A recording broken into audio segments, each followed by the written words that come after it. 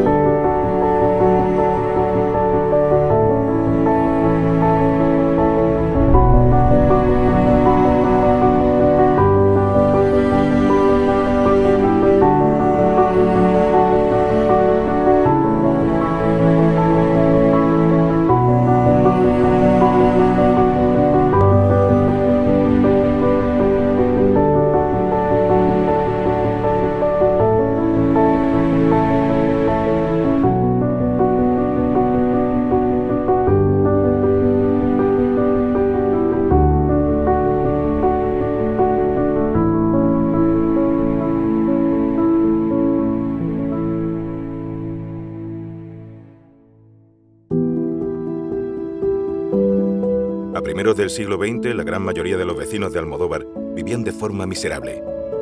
Frente a este grupo encontramos a los llamados señoritos, los cuales gozaban de una vida cargada de lujos, liberada de toda preocupación por subsistir. En 1916 se formó la CNT.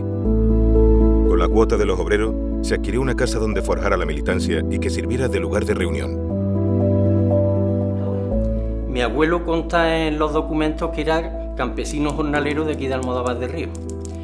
Ellos participaban en el movimiento obrero de aquí de Almodóvar eh, activamente en las revueltas que hubo y todo eso, siempre defendían los derechos de los obreros, sus ideales, pero siempre, mm, por referencia de personas que conocemos, siempre tuvieron mucha honestidad y mm, intentaban solucionar las cosas con diálogo.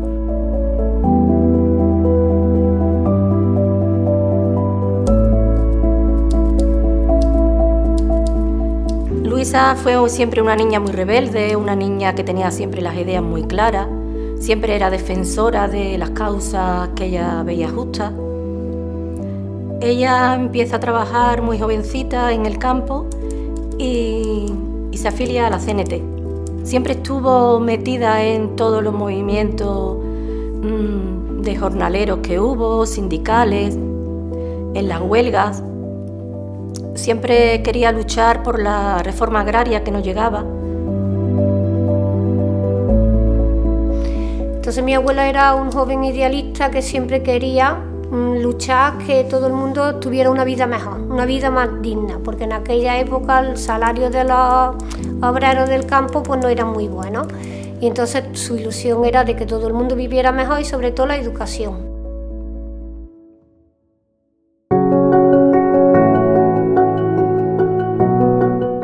De Almodóvar se ocuparon mayoritariamente de la alfabetización y de la cultura. En 1925 se inauguró el Ateneo Popular de Almodóvar del Río. Su primer presidente fue Manuel Alba Blanes. Eh, mi abuelo fue una persona autodidacta, entonces eso yo creo yo lo valoro mucho mi abuelo fue poeta, y fue dramaturgo y, aprendió, a leer, aprendió a leer y a escribir él solo. Por eso a lo mejor él destacó en su momento. Y por eso yo siempre digo que es una persona, mi, abuelo fue una persona del futuro, fue una persona que se adelantó en su tiempo. Ateneo Popular eh, se fundó en la actual calle ahora mismo Vicente Alessandre, número 4, donde está el bar de la viuda ahora mismo. Ahí empezó a forjar el, Ateneo de Almodóvar. Mi bisabuelo le dio una cámara que había arriba, con una silla, un retrete que había allí, y la parte de abajo, pues le dio, la parte de abajo, conforme se entra a la casa, que ahora mismo también se verá en, en había una habitación a mano izquierda, y ahí le dio mi bisabuelo esa habitación para que pusiera una especie de oficina. Y ahí se fundó el Ateneo. Y ahí, ahí estuvo el Ateneo durante cuatro años. Después el Ateneo tuvo diferentes sedes hasta llegar a, donde está en la actualidad ahora mismo.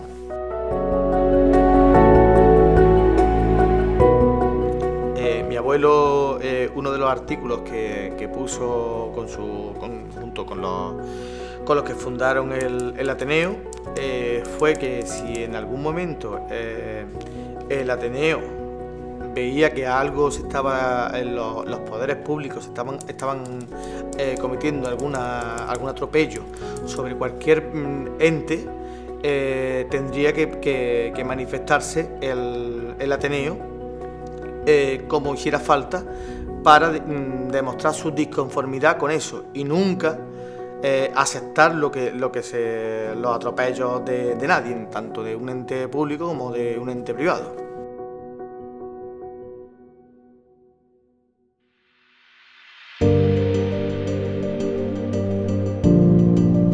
Con la llegada de la Segunda República y el incumplimiento por parte de los señoritos de las nuevas leyes laborales, se incrementó el malestar de los campesinos, que desembocó en la noche de los tiros. Los jornaleros de Almodóvar llevaban tres semanas de huelga.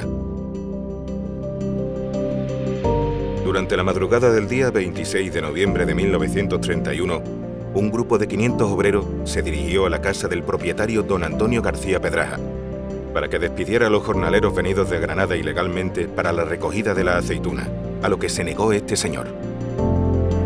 Comenzó una violenta discusión y varios señoritos hicieron disparos de escopetas contra los obreros, provocando dos muertos y varios heridos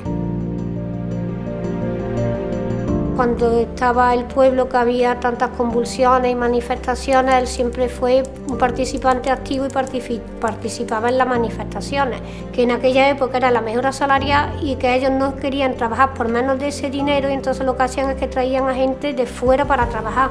Entonces se unieron y lo que hicieron fue eh, no, primero los del pueblo y después la gente que venga de fuera, pero primero los del pueblo que estamos sin trabajar y porque no quería que nadie trabajara debajo de ese sueldo.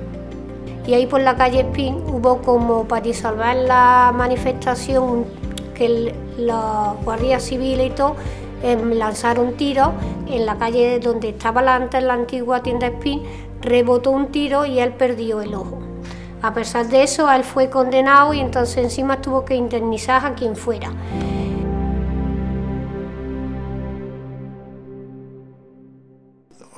Nunca olvidaré, pues ya ves tú, nunca olvidaré pues cosas que a lo mejor le pasaron tanto a mi familia como a otras familias inocentes y que mm, eso que mucha gente decimos, anda, ¿para qué vamos a destapar esto o lo otro? No, no, la historia hay que saberla tanto de unos como de otros.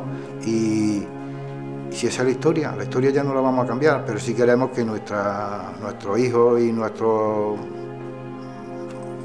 futuro sepa en realidad lo que fue la historia y lo que pasaron las familias de entonces para sacar a, a su hijo adelante. En fin, ¿qué quieres que te diga?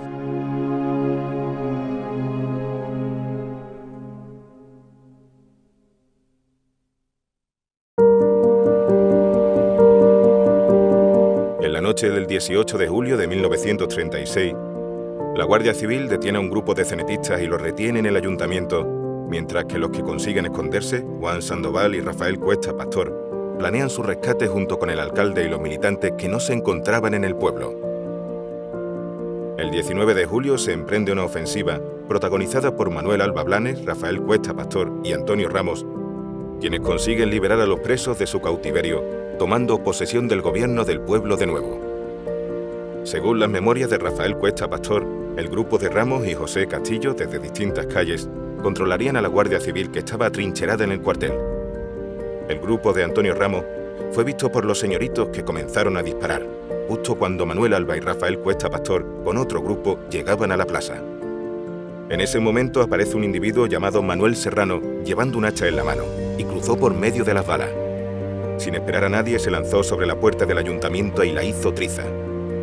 Salieron los presos Manuel Cobo, José Díaz, Rafael Peña, Palacios y otros. Poco después se organizó el Comité de Defensa.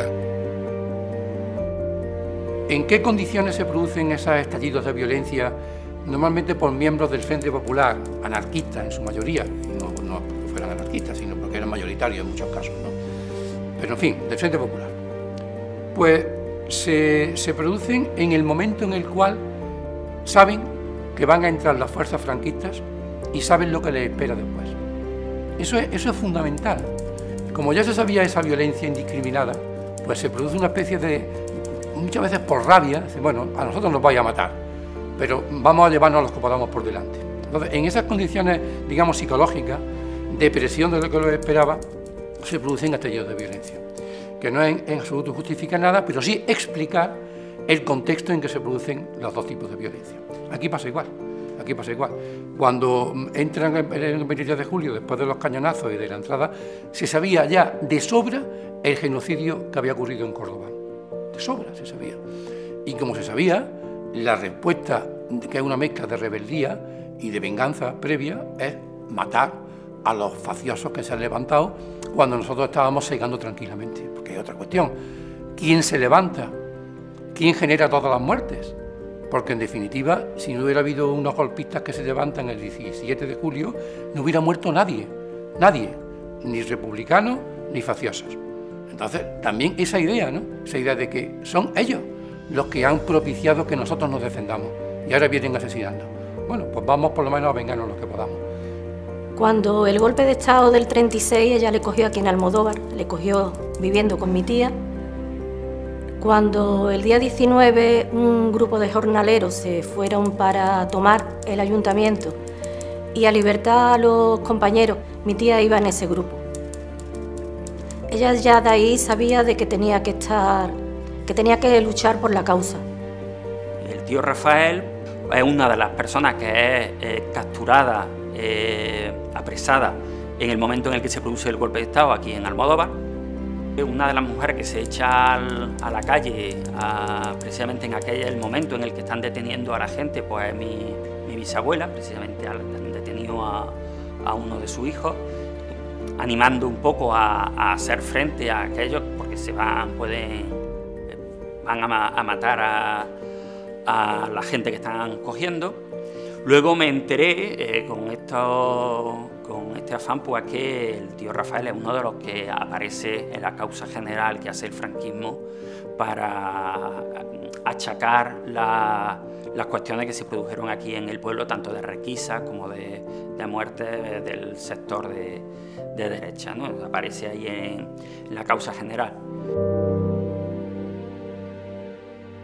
Yo creo que lo que no se debe de olvidar a ese dolor que muchas familias tienen sea por el motivo de que su familiar murió en una fosa, estuvo en la cárcel o en el exilio, eh, lo que no se debe olvidar es que esas personas no sufrieron esa represión por ser familiar de quienes hoy en día vivimos, sino que esa represión surgió, se produjo porque eh, tenían una militancia, porque tenían una creencia en querer construir una España mejor y se le reprimió precisamente por eso, por querer construir una España mejor.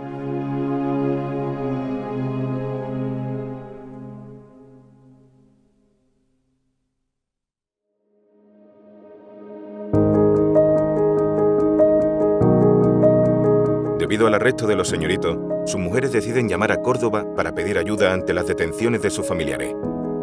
La defensa del pueblo se hizo desde la Casa Roja y la estación de ferrocarril. El bando sublevado contaba con mucha más logística que los republicanos.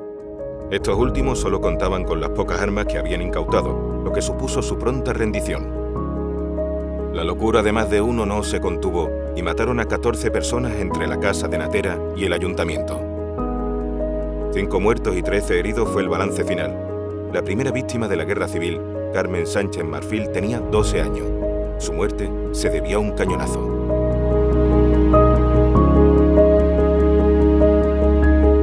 Cuando el ejército republicano se hunde tras eh, el asalto faccioso, eh, cuando no hay nadie para sostener los pueblos, ¿quién lo hace? Lo hacen las milicias populares. Y esas milicias populares, ¿por quién estaban formadas? Estaban formadas por campesinos, campesinos de la CNT, campesinos de la UGT, campesinos muy bien organizados.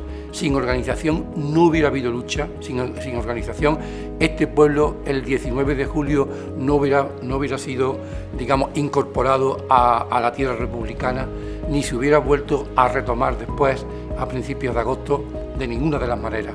A partir del 23 de julio, inmediatamente después del 23 de julio, muchísima gente, porque hay que tener en cuenta, y ya voy al hilo de lo que estamos comentando, que aquí se producen dos desbandadas. Una el 23 de julio y otra después ya la definitiva a partir de entre el, 20 de agosto, 23, 18 de agosto. Dos desbandadas. Una vez que el 23 de julio cae el, pueblo de manos fascistas provisionalmente, eh, tanto el, alcalde Manuel Alba como, como Rafael, como este, pues eh, lo que hacen es organizar dos batallones, uno de caballistas y otro de milicianos, eh, con unos 80 miembros, con unos 80 individuos cada uno, todos campesinos. Mucha gente huye y otra se queda resistiendo. Entonces organizan una especie de cerco al pueblo, que no es la primera vez, eso se, repite en muchos sitios. Eh, los pueblos se abandonan porque hay un núcleo facioso, Guardia Civil normalmente, que ocupa el pueblo, pero los, campesinos bien organizados lo, rodean. ¿Qué ocurre? Que esos 160 hombres aproximadamente, 80 digamos a caballo y 80 de milicias, rodean el pueblo, acosan el pueblo, lo someten a una especie de cerco, de manera que el 3 de agosto vuelva a ser retomado por las fuerzas republicanas. Ella siempre ha tenido el recuerdo de su padre con mucha añoranza cada vez que ha visto una foto. Me acuerdo una vez en una cómoda de mi abuela, que estaba en un cuartón, parece ser, eh, en el corral, y, abrió la gaveta y vio unas cartas y no sé, dice que le pegó un vuelco al corazón, que intuyó cómo era que eran de su padre, porque claro, su padre en el frente de la guerra le escribía a mi abuela Rafaela que se quedó aquí, no se fue. Y abrió la primera y ponía, hermana, aquí ciegan la vida de los hombres como en Andalucía la va.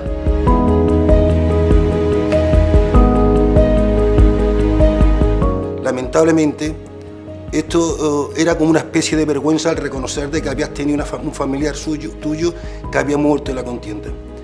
Rafael Apolita fue la última persona de Almodóvar que vio a mi tío Antonio antes de morir. Y un día, pues hablando con ella, Rafaela, y ella siempre estaba, tu tío Antonio, tu tío Antonio, y ya pues le pregunté, Rafaela, mi tío Antonio, ¿qué pasa con mi tío Antonio? Y dice, tu tío Antonio murió en el frente de Montoro. ¿Y eso cómo es? Dice, yo lo vi el día que partió hacia el frente, dice, recuerdo, fueron palabras exactas, dice, iba con un pañuelo de la CNT, de la CNT y un gorro de la CNT.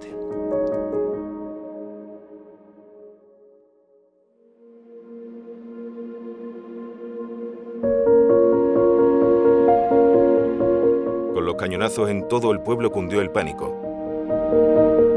La gente corría por las calles y se desencadenó la huida masiva de familias enteras hacia la sierra.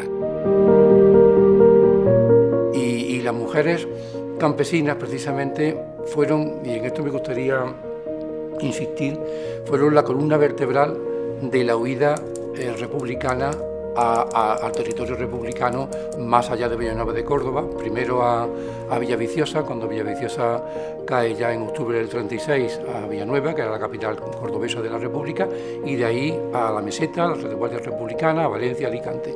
Y sin las mujeres hubiera sido imposible. Las mujeres campesinas aportan ahí su fuerza, su, capacidad de organizar el espacio doméstico, eh, su amor por la familia, por los hijos, por los nietos, por los sobrinos, cuando los hombres estaban fusilados ya o estaban eh, en el frente o estaban presos y, son ellas las que organizan de una forma absolutamente dramática e inmediata pero aquí en esta vega del Guadalquivir y en concreto en Almodóvar, en Los Mochos, en Posadas, en todo este territorio, se produce una huida que a través de esta falda, buscando primero la presa de la Breña, que por cierto la hizo la República, no la hizo Franco, como muchos creen, atravesando el río Cabrilla por mesas altas, buscando, eh, digamos, el abrigo ya de la Sierra Republicana.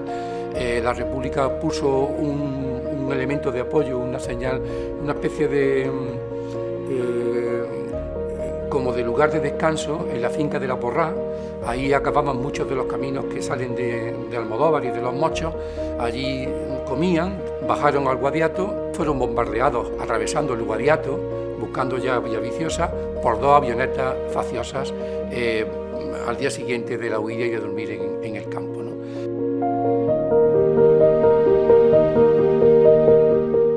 en mi casa, que vivía aquí en Almodóvar del Río, en la calle Miradero número 11, y todos salimos por la puerta falsa en busca de una de la vía férrea, una línea que había que pasa cerca del castillo, y al llegar a un punto, el viaducto que han abierto para el AVE ahora, eh, la gente iba en fila, iba al toque siguiendo toda la línea férrea, y, sentimos un estruendo terrible que fue y le pegaron un,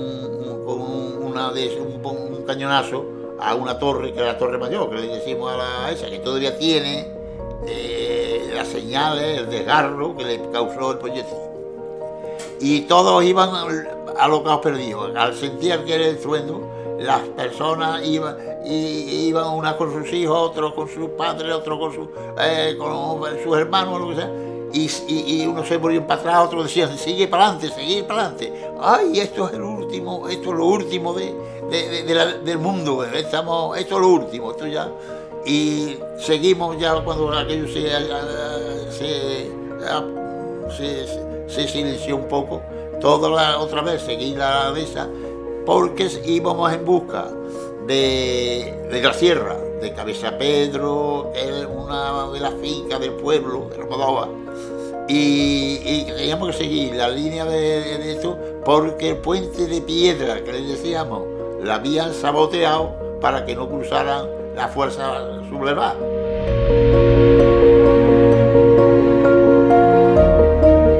Desde la huida de aquí de Almodóvar primero creo que fue hacia, hacia Villaviciosa, conforme los, los sublevados iban tomando posiciones, se iban yendo cada vez más al norte y terminaron por ahí por Gandía, Tortosa, Valencia, por toda esa zona. Ellos se fueron, pues toda la familia. Cuando iban a huir, su abuelo que estaba en la línea dijeron, vamos a echarle de comer a la gallina, que estos serán cuatro o cinco días. Y cuatro o cinco días volvieron al cabo de los años. Mi abuela eh, se fue a Murcia, como le pidió mi, abuelo en la carta, se fue eh, y se quedó allí esperando porque eh, mi abuelo estaba en el frente de Pozo Blanco con la intención de, ir a Murcia a reencontrarse con su, con su mujer y con su hijo, pero supuestamente cayó una bomba en, la farmacia donde entró mi abuelo y, allí se supone que murió en, en Pozo Blanco.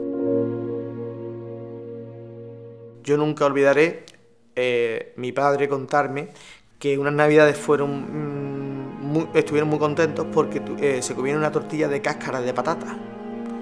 Y yo le decía, papá, ¿por qué te comías las cáscaras de las patatas? ¿Por qué no echaste las patatas, coño? Mm, lo más fácil es echar la patata y no echar la cáscara. Y él me decía, Luis, la patata se la comía el señorito y nosotros nos comíamos las cáscaras.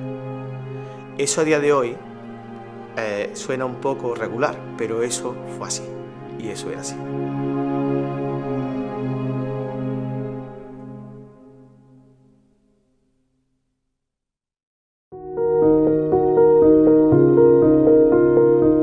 Almodóvar del Río se toma por segunda vez por los defensores de la República. El día 25 de julio, entre Posadas y Almodóvar, en una casa de peones camineros, se reorganizan las fuerzas para volver a atacar y tomar el pueblo. De esta forma, Rafael Cuesta queda al mando de la caballería, mientras que Manuel Luna Cruz lidera la infantería. Esa organización que crea milicia, milicia a caballo, milicias a pie, y que con las pocas armas que se, que se requisan a los señoritos y a los terratenientes y a la oligarquía, con esas pocas armas se enfrentan a batelladoras y se enfrentan a columnas perfectamente armadas que vienen del norte de África. Esa organización es hoy día algo que deberíamos de alguna forma imitar para luchar contra los problemas del presente.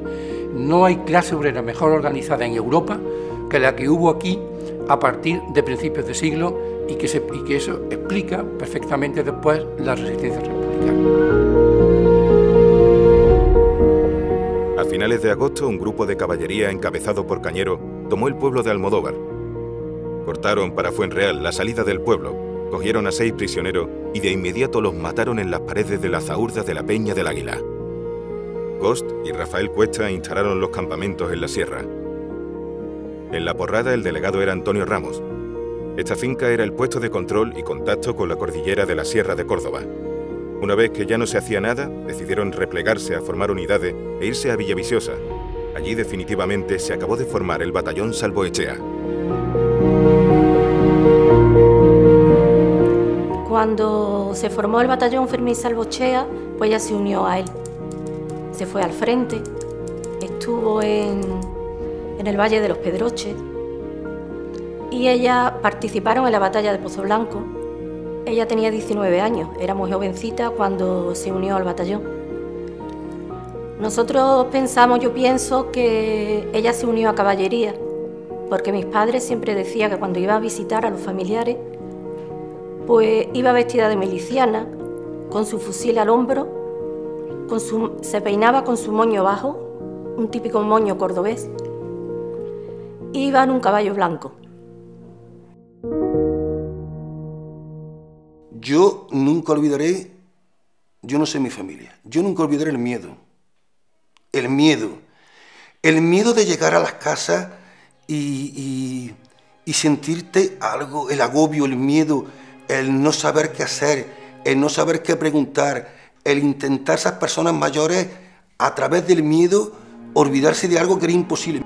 Yo a mi abuela nunca la he visto sonreír, sonreír nunca, siempre vestida de negro, enlutar, callar, no hablar. Eso es el miedo, el miedo, el miedo, el miedo es lo que se come una persona. El miedo es lo que se come una persona. Porque si yo estoy hablando con la libertad hacia vosotros de esto, si yo fuera al contrario del miedo, yo...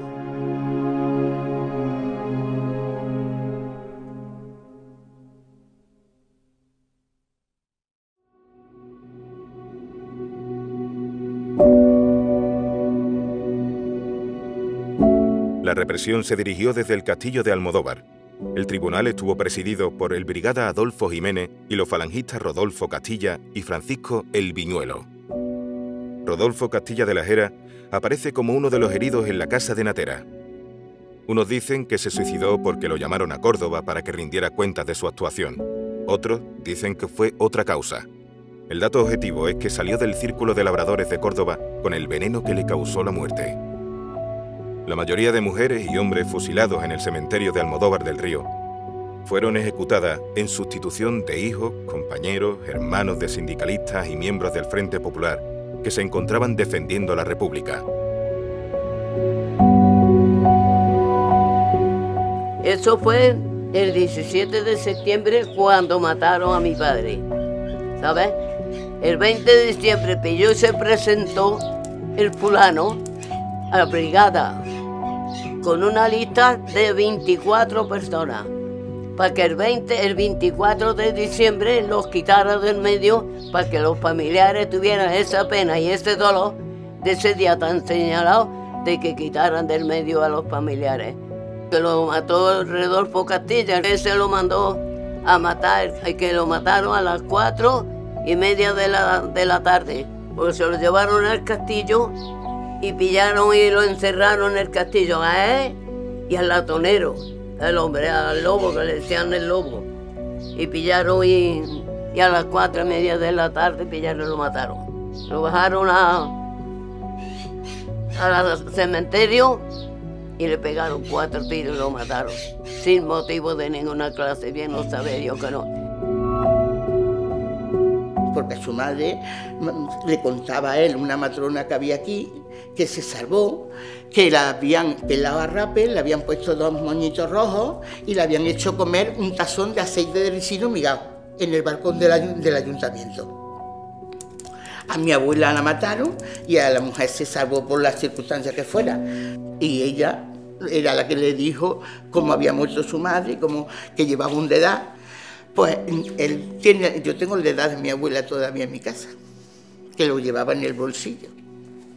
Porque estaba detrás de la puerta cosiendo, tocaron, se la llevaron y ya no apareció más.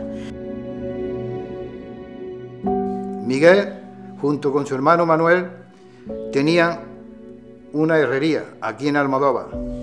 Nunca pertenecían a ningún sindicato ni grupo político. Cuando cierran ellos dos la herrería, vienen camino de su casa que vivían en la calle La Peña y se paran en un bar. Allí había unos señores en una barra, junto con otros amigos de ellos, el cual lo llamaron. ¿Qué me vais a enseñar? Y le enseñaron unos, unos balines que llevaban de hecho para una montería que tenía su señorito. Dijo mi tío abuelo, Miguel, eso lo sé yo hacer. Mañana os voy a traer uno. Efectivamente, al día siguiente se presentó en el bar con un cebalín y se lo enseñó. Y al, allá al para su casa oyó una voz de unos señores que había allí y, le dijeron, a este anótalo. Él se fue para su casa y al día siguiente hicieron una redada en el pueblo. Bueno, pues con la misma se lo traen a Córdoba y lo meten en la cárcel que estaba en el Arcasa de los Reyes Cristianos. Mi tío murió con 24 años.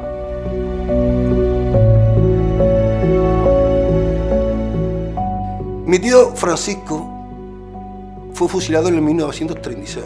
Se llamaba Francisco López. Mi abuela era guardabuja y mi abuelo pertenecía a la cuadrilla de, arreglo de las vías y tal, era capatán. Bueno, pues mi tío lo fusilan en el año 1936, en julio aproximadamente, con 19 años. Él también trabajaba con su padre. Eh, resulta que lo ha hecho a, mientras mi abuelo López se encuentra con la pierna partida en el hospital de los, Morales, donde había antes, que era el uno que había.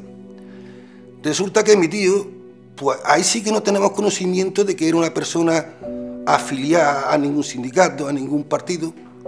Lo que sí tengo conocimiento y tengo, tengo certeza, porque me lo han dicho, de que era una persona que no se callaba ante nada, que era una persona que, bueno, que, que, siempre daba la cara y que no, no, no, no, le gustaba lo que había, entonces pues no le importaba hablar. A mi tío lo cogen y se lo llevan al castillo, que no se lo llevaban anteriormente, y hay una persona que se llama Badía, se llamaba Badía, y le dice a mi abuela Carmen, a tu hijo lo van a fusilar mañana. Mi abuela resulta que, bueno, pues ese día asistió, bueno, no asistió, la dejaron en las puertas del cementerio hasta que lo fusilaron y gracias a una persona pudo eh, enterrar dignamente a, su, a su hijo.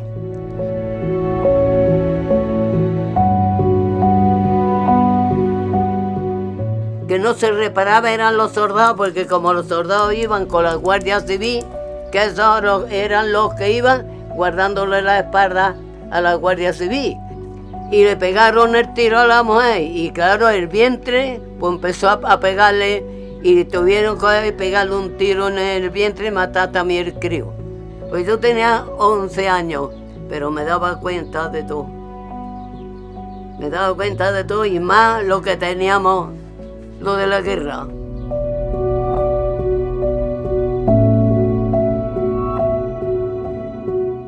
Por ejemplo, cuando se querían llevar a mi abuelo Fernando Flores y a mi abuela Concesión Suárez, se los querían llevar para fusilarlos, ¿no?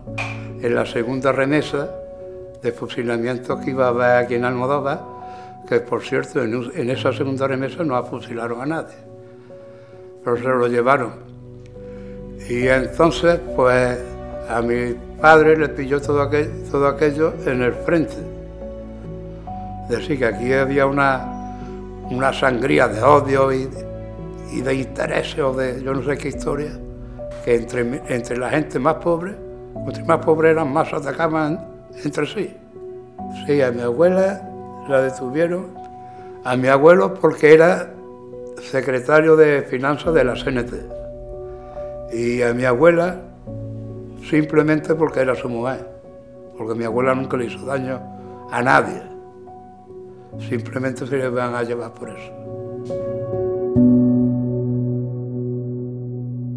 Yo lo que no olvidaré nunca es el dolor que tuvo que pasar, el sufrimiento. Y sobre todo, eh, yo creo que lo que más sufrió era de que lo tenían todo, tenían, podían llevar una vida bien, era hijo único y que sus padres lo perdieron todo y que su padre murió casi en la miseria por tal de salvarlo a él. Yo creo que eso fue el mayor sufrimiento que él tuvo, que él lo intentó ocultar, pero eso de nunca hablarlo y expresarlo, y además era que decían que miraba siempre a su madre, ay mamá y su madre, ay hijo de mi alma cuando lo vio, ay hijo de mis entrañas que ya estás aquí. Y entonces eso yo creo que a él le marcó. Le marcó porque era el dolor de decir, por mi culpa y sin tener culpa, eh, lo han perdido todo y de estar bien se han visto sin nada. Y además, de hecho, a su padre lo tuvieron que enterrar, como yo digo, como de caridad porque no tenían ni para poder enterrar al padre.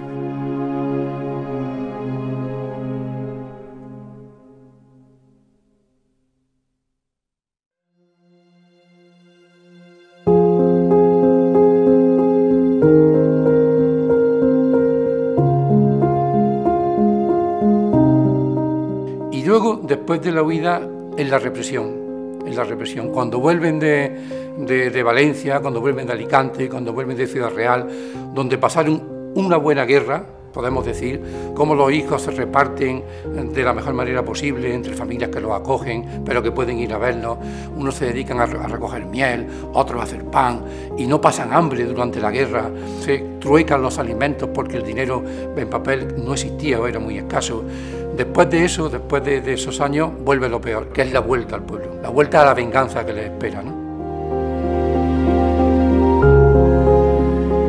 Los vecinos de Almodóvar, que fueron procesados, ascendían a 75. Y él cuando terminó la guerra, él pensaba irse a Caracas. Y luego ya mm, pensó que se iba, le iban a hacer algo a mi madre y a mi hermano y volvió. Y por eso lo detuvieron. En el puerto de Santa María estuvo un tiempo hasta que luego ya lo pasaron a Burgos. Y de Burgos ya pasó al Valle de los Caídos. En el Valle de los Caídos redimió condena. Él tenía cadena perpetua. Al irse al Valle de los Caídos, él redimió condena eh, con trabajo forzado, que era un año de trabajo, era equivalente a siete años de prisión que allí lo pasaron bastante mal. ¿eh? Allí se, se autocuraban ellos con una aguja de coser ropa, de coserse los botones. Eh, se hacían una herida y él los cosía con hilo de, de, de, coser la ropa. A mi padre lo, pasaron a una ermita que se llama uh, Nuestra Señora de Rosario, que y aquí en mismo en Almodóvar y se juntaron los que tenían las penas más altas eh, y, entonces coincidió con su hermano que estaba condenado a muerte y los dos pues pasaron allí hasta que una noche pues llegaron, dieron la orden de que se levantara y se arreglara y lo conducieron, lo condujeron al cementerio y le pegaron cuatro tiros. Y cuando yo ya volvía para llegar a mi casa donde, me, donde nos quedamos alojados en Almodóvar y entonces al confrontar con una casa, unas señoras, unas personas que había allí, dieron ese sobrino del que han matado esta noche. Y me quedé eh, pasmado cuando hubo aquello. Yo nunca olvidaré mis cumpleaños, siempre me acuerdo de mi padre, siempre. Cada vez que cumplo un año, ese día para mí, yo todavía, mi padre hace 33 años y yo hablo con él. Y cuando estoy necesitada de algo, siempre recurro a él. Siempre. Siempre mi padre fue para mí mi ídolo. Porque era una persona que, era muy importante en mi vida, pero luego es que era tan cariñoso, tan de, de todo nunca, eso no lo voy a olvidar nunca.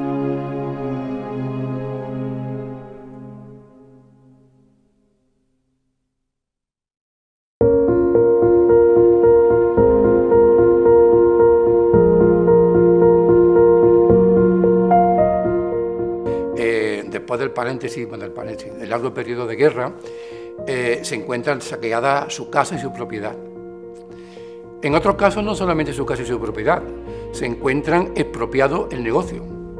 Hay casos de panadería, hay casos de zapaterías, o se encuentran también expropiados su pequeña propiedad agraria, pequeñas fincas que también son arrebatadas.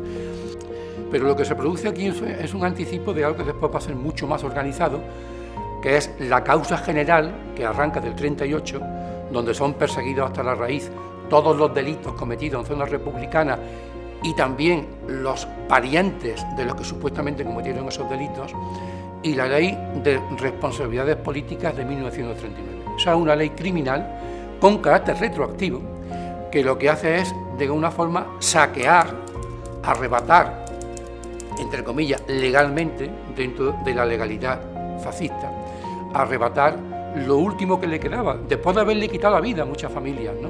que enriquece no solamente a las arcas del Estado, sino a muchos propietarios particulares, generales, jueces, eh, propietarios, que ven así recompensadas su apoyo al golpe de Estado fascista contra la República. La recompensa es dinero, tierra y propiedades, que vienen precisamente de estas prácticas. Juanito Mendondo, el hombre, le pidió la casa de mis abuelos, que es la calle El Santo, frente a la, a la fuente que hay dos caños.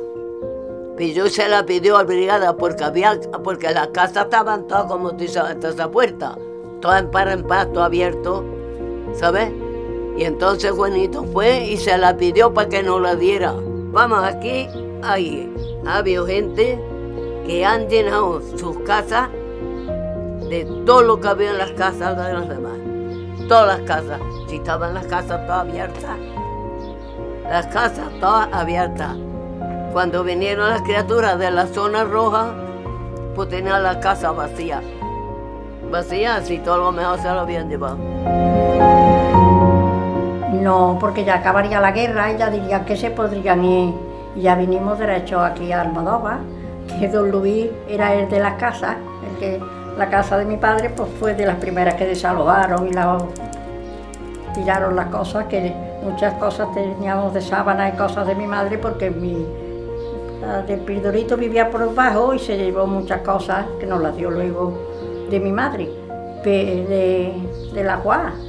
Y mi madre dice que estando la última vez que vino a limpiar que dejó ya la casa puesta, puesta, Dice, uy, si entraran a robar, qué bonita la vería.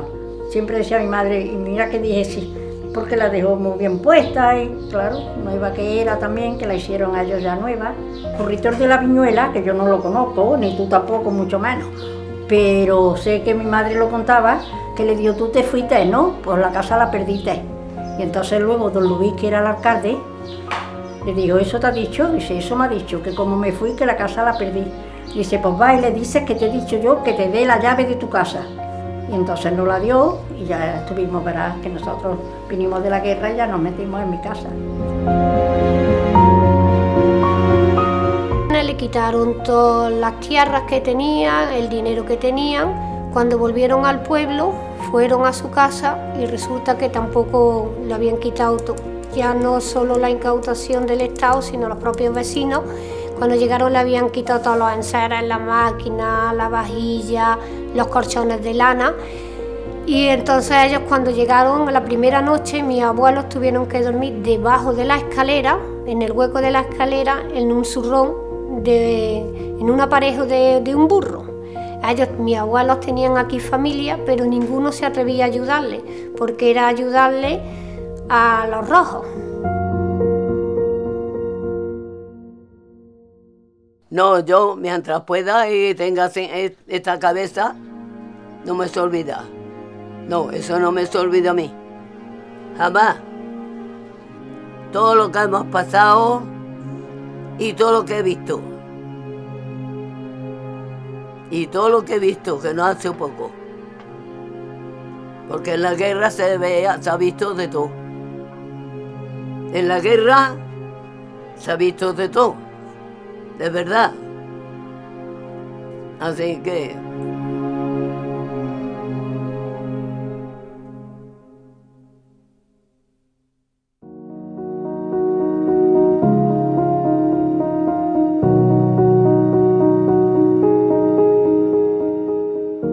Y he pasado, ya te digo, hemos pasado muchas hambres, muchas hambres que eso, pues mi madre me se puso la mar de mala me se puso muy mala, ¿eh?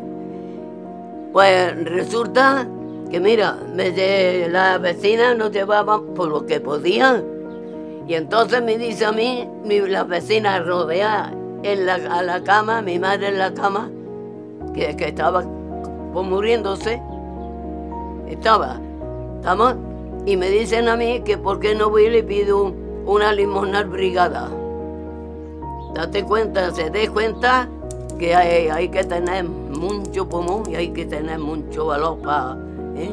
Y yo decía, madre mía, es brigada que ha puesto la Guardia Civil, aunque ha sido expuesto por el canalla criminal de Rodolfo Castilla, y, ahora y, y, yo, pero veía en la, espera de mi madre en la cama, que eran dos cualidades aguas más fuertes. ¿eh? Eso solo digo ya está, que es verdad.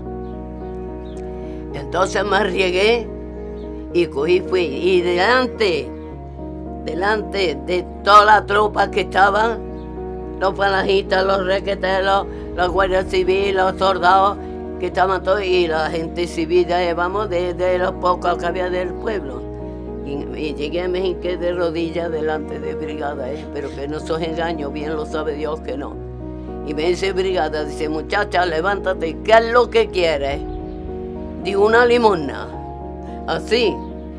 Y si tú no tienes padre, digo, yo padre, tengo mi madre que se está muriendo en una cama. Somos seis hermanos y mi padre me la han matado. ¿Quién te la ha matado? Digo, aquí los fascistas. Yo no me he reparado de decirlo. Yo no me he reparado porque como estaba herida, ¿eh? De ellos, pues yo no he tenido por qué ver. Callarme ni me callo tampoco. Y yo cogí a mi hermano, mi madre en la cama. Mi madre en la cama la tenía que dejar con mi hermana que estaba chica y con mis hermanos los otros, todos pequeños.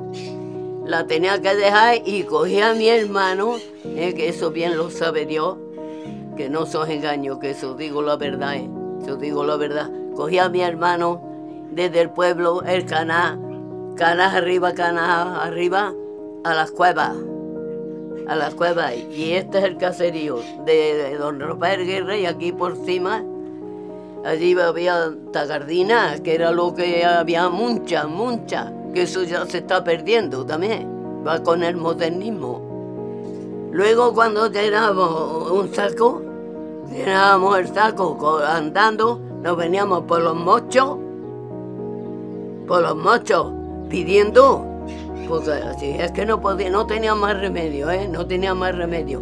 Cuando de allí veníamos, llegábamos a mi casa a las 11, las once y media de la noche. Eso era todos los días, todos los días. Llegaba, lavaba las tagardinas, las preparaba. Al otro día, como a las 5 de la mañana, ya estaban preparando la, la plaza que la ponían en la plaza, en la plaza principal, en la plaza.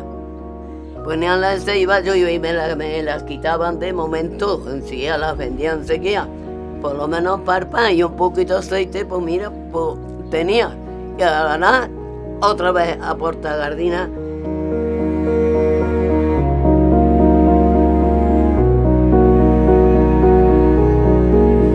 Pasamos mucho, mucho falta de comida, falta de, ropa, de calzado, toda aquella época, todos los, los años que duró aquel problema. Fuimos a un, a un comedor regentado por las monjas que había aquí. Y, allí estuvimos y pasamos muchísimo de comida fatal, de, maltrato.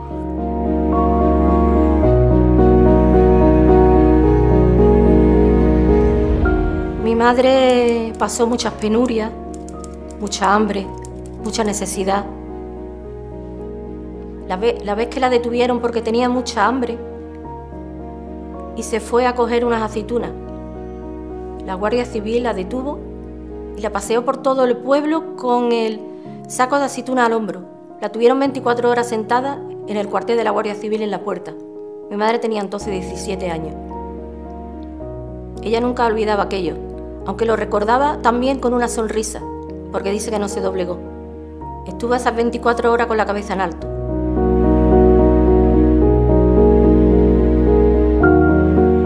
Ella contaba de cuando aquellos tiempos de las cartillas de racionamiento, ellos lo, lo pasaron más. Ella no ha tenido una vida fácil. Mi abuelo cuenta ahí en un documento que cobraba 5.200 pesetas anuales de aquel tiempo, equivalente por 15 años de servicio.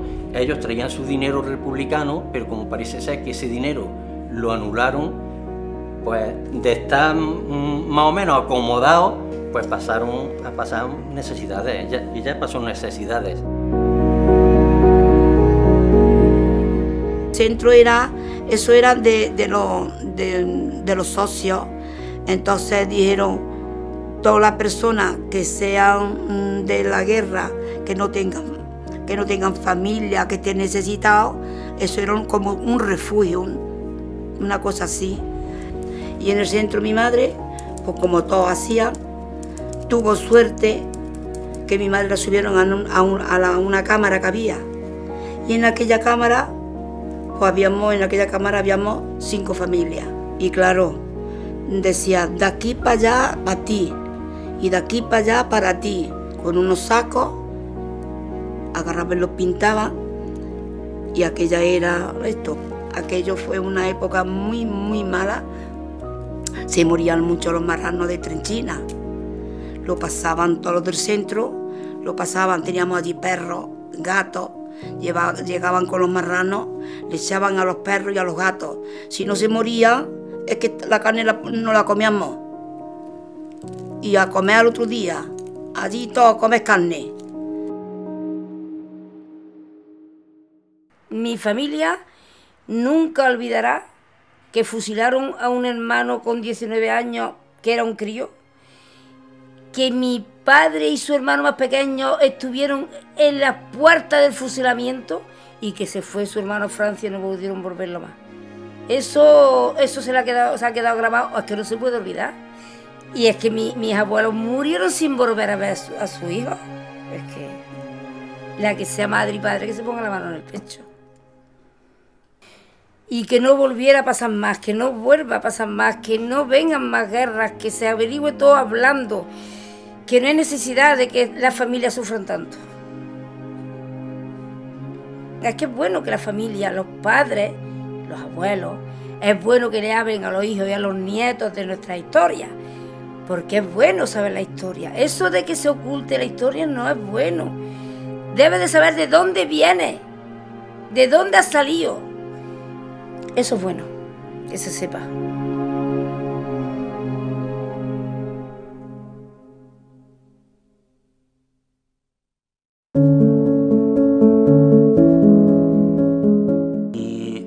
pues como tantos españoles en aquel momento, en febrero, enero, febrero de 1939, pues pasan al sur de Francia. Entonces, pues Francia intenta utilizar a aquellos españoles que tienen tres años de experiencia en combate, o bien para integrarlos en, la legión extranjera, o bien para eh, utilizarlos en los batallones de trabajo. Padre que nace en, marzo del 37, que obviamente cuando mi abuelo abandona España, pues tiene dos años de, edad y que se cría sin, su padre. Mi padre no, conoce físicamente a, mi abuelo hasta que tiene 27 años. Eh, parece ser que alguna vez le tendrían que preguntar a mi abuelo si pensaba regresar a, a España y él decía que mientras que estuviese Franco no iba a, regresar, que el aire que respiraba Franco no lo podía respirar él. En el año 1940 la detienen, la llevan a la cárcel de Córdoba y luego la llevan a Madrid. No estuvo mucho tiempo presa, pero ella vuelve y vuelve de nuevo a casa de mi abuelo. Una noche, una tarde noche, llega un vecino del pueblo y le pregunta, Luisa, ¿está Ventura? No, Ventura no ha llegado de trabajar. Pues dile que cuando venga se vaya. Vienen a por él, pero esta vez no va a ser como siempre. Esta vez vienen a por él sobre las 10, piensan fusilarlo mañana por la mañana. Él se pone lo que es su gabardina, su sombrero. Cuando va a salir por la puerta, sienten de que viene la Guardia Civil por la calle. Mi tío huye por la parte de atrás de la casa, se dirige hasta la estación. Entonces se esconde entre los vagones que estaban, estacionados a esperar que llegara el primer tren. El primer tren que pasó fue un mercancía, se subió, se subió a ese tren sin saber a dónde iba. Cuando llega la Guardia Civil a casa de mi tía, le preguntan por Ventura, Ventura claro, no estaba. Se quedan allí, le registran la casa, se la destrozan, le pegan. Cuando ya llegó a altas horas de la noche y no había llegado, a mi tía la llevan al cuartel de la Guardia Civil. Allí empiezan a interrogarla, siguen interrogándola, le pegan, le preguntan por Ventura. Ellos ya sabían que si Ventura no había vuelto, que se había ido. Pasado unos meses, mi tía recibe una carta que le hacen llegar cenetistas, una carta en la que mi tío le decía, soy Ventura, estoy bien, estoy a salvo, vende lo que tengas y vete para esta dirección a Barcelona. Allí te estarán esperando, que te harán cruzar los Pirineos y te llevarán a donde yo estoy. Un día de los que iban huyendo, estaba ya amaneciendo y la Guardia Civil los vio. Empiezan alto a la Guardia Civil, alto a la Guardia Civil, ellos se lían a correr, llegan a un río, un río que en la época que era llevaba mucha corriente. Cuando van corriendo el niño se le cae al agua. Mi tía se tira detrás y el guía se tira detrás. Lo que podía haber sido una tragedia le salvó la vida. Ella tardó tres meses en llegar a Francia. Llegaron a la frontera y allí lo estaba esperando mi tío. Ella estuvo exiliada pues toda su vida. Aunque crean muchos que los que estaban exiliados, que la gente de izquierda no quieren a su patria, la querían mucho, porque se la habían quitado, se la habían arrebatado. Y luego otro hermano que se llamaba Antonio Capel Ramos se fue a Francia, se escapó, ese se escapó. Y este no lo hemos vuelto a ver más. Sus padres, por cierto, mi, abuelo, todo eso pasaron después de tener siete hijos para criarlo. Y mi tío murió sin poderlo ver.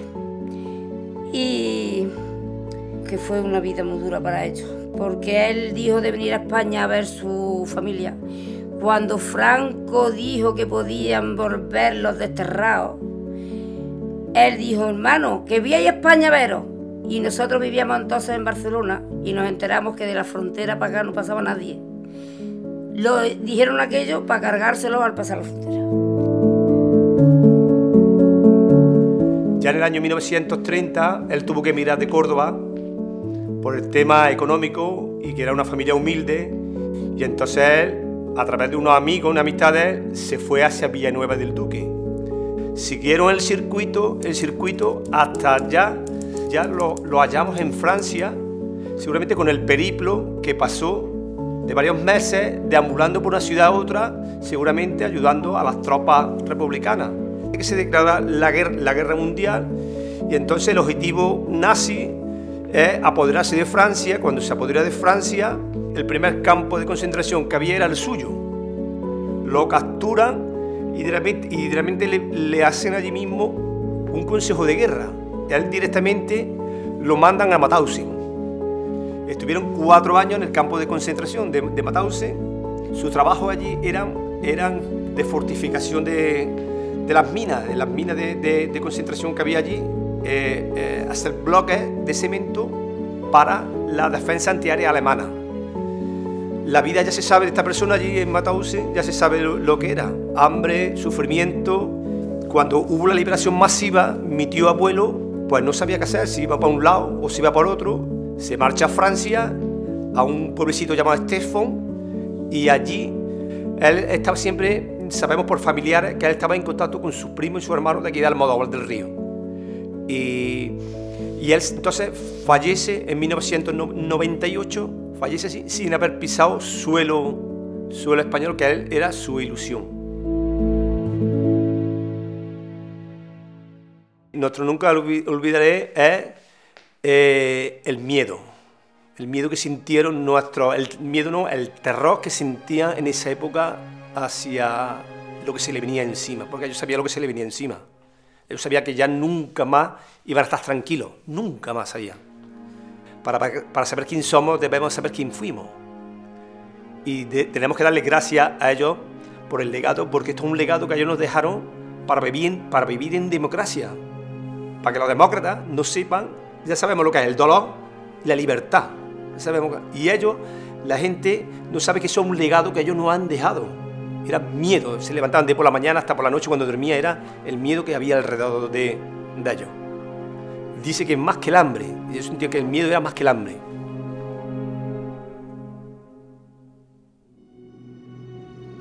Mi tío tenía 19 años cuando lo fusilaron. Lo fusilaron pues por tener las ideas contrarias al régimen que entraba. Mi, padre y un, hermano más pequeño que él tenía, mi padre tenía 17 años, su hermano más pequeño tenía 15, que eran los dos más pequeños, de 17 hermanos que eran, y ya lo tenían en los calabozos para fusilarlos también, porque tenían otras ideas contrarias. Y entonces estaban encerrados, encerrados, yo tengo entendido que a lo mejor en la ermita, donde estuvieran entonces encerrados. Y sacaron a los que iban a fusilar delante de su familia y lo sacaron para llevárselo a fusilarlo. Terminó la guerra, ya había terminado, pues nos regresamos en trenes de batea, de, cubierto, y en Córdoba pues ya de allí nos, nos vinimos aquí a Almodóvar mi padre se presentó en el ese y quedó automáticamente preso, en situación de preso. Lo, pasaron a una ermita y allí mismo en Armodova y se juntaron los que tenían las penas más altas eh, y entonces coincidió con su hermano que estaba condenado a muerte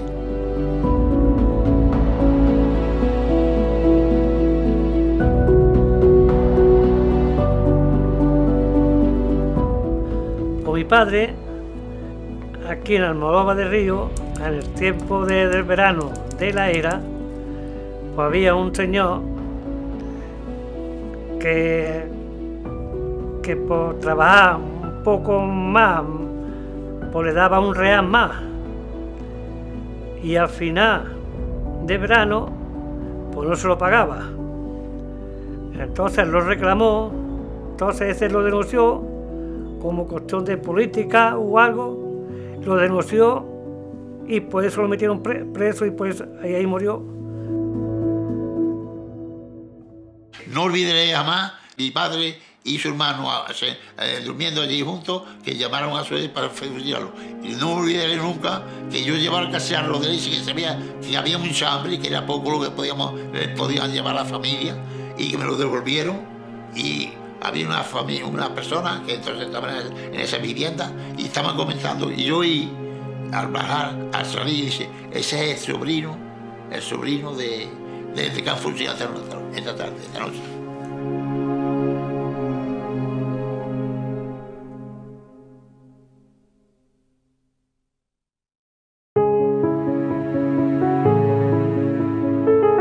La primera reconciliación entre vencedores y vencidos llegó al Modóvar del Río mucho antes de lo previsto. Fue el 30 de noviembre de 1978, cuando don Antonio Ramos, presidente de la CNT, y 15 miembros más de la misma solicitan autorización para recoger y unir los restos de los republicanos fallecidos durante la Guerra Civil y la posguerra. En su mayoría eran del citado sindicato o familiares de los mismos. Este ayuntamiento de transición, presidido por Rocha Vergillo, acordó por unanimidad ceder de forma gratuita un lugar del cementerio municipal donde se construyera un panteón para que en él pudieran reposar los restos de los fallecidos. A pesar de ello, no fue hasta el año siguiente cuando, después de una nueva solicitud de los cenetistas, el 24 de julio y ya con una flamante corporación democrática en el ayuntamiento, que se concreta que además del terreno se darán los materiales de construcción para el citado panteón. La anterior corporación se lo había prometido verbalmente.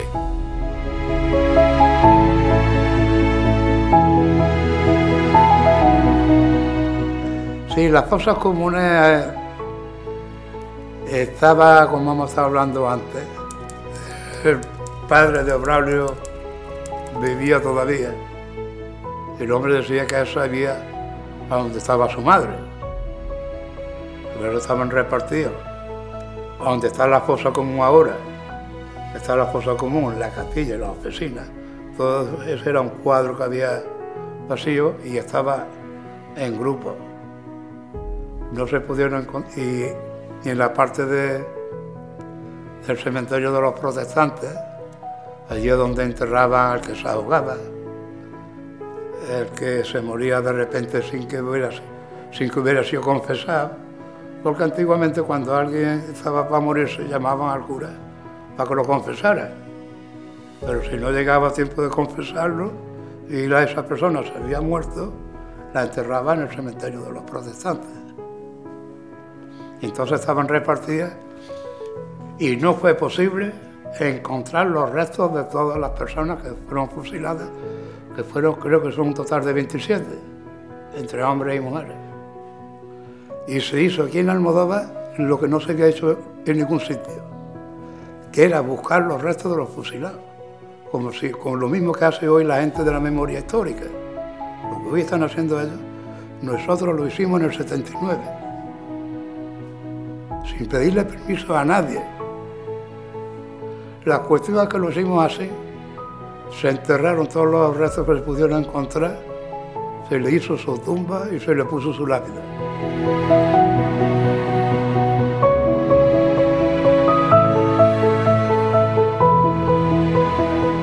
Yo no olvidaré lo que es la historia de ellos. La historia de ellos, la historia de mi tía, jamás lo olvidaré. Y, nosotros, desde luego en casa, todos los hermanos, siempre queremos que esta historia nunca se pierda. La historia de mi madre aquí en Almodóvar, la historia de mi tía, aunque nació en La Carlota, pero cuando se fue al exilio vivía en Almodóvar. Nunca olvidaré este pueblo y nunca olvidaré todas las necesidades que mi madre pasó aquí y fuera de aquí. Para mí, Almodóvar de Río, venir a Almodóvar, pues para mí es volver y regresar a donde mi madre nació, mi hermana nació, donde estaban mis abuelos, mis abuelos murieron aquí, donde estaba el resto de mi familia. La verdad que nunca olvidaré todo eso.